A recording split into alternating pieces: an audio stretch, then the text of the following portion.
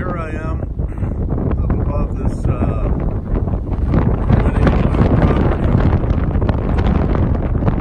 and we're looking down on Claramosa. Sustained 20 knots, gusting to 30, coming out of the northeast, as you can see by the boats there, facing the northeast.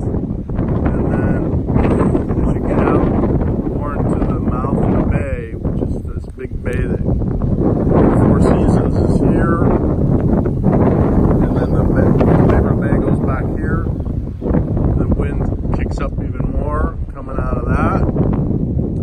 You know, so that's probably 25 knots coming out of the northeast. And it's all northeast winds.